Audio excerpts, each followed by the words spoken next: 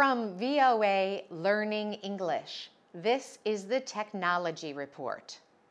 Automobile technology is expected to change in important ways in the next 10 years. One of the biggest changes could be that cars will drive themselves. Someday you may tell a car where you want to go and it will drive you.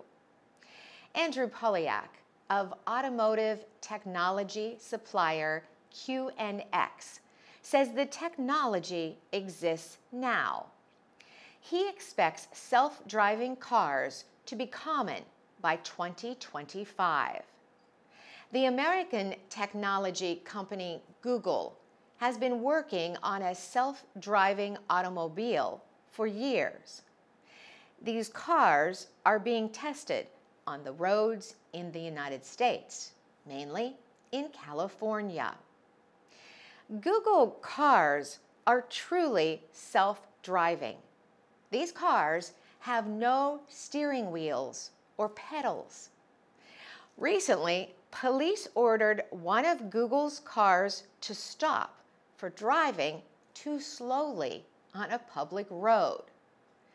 The car was not violating any law, so no one was punished. But police did speak with the operators of the vehicle.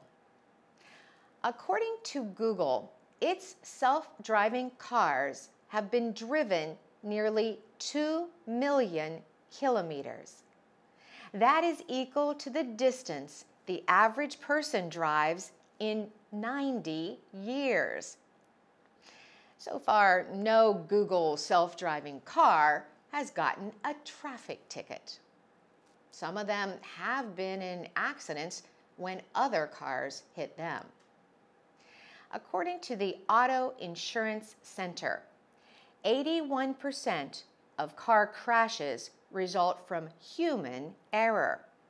Many lives could be saved if cars drove more safely without human drivers.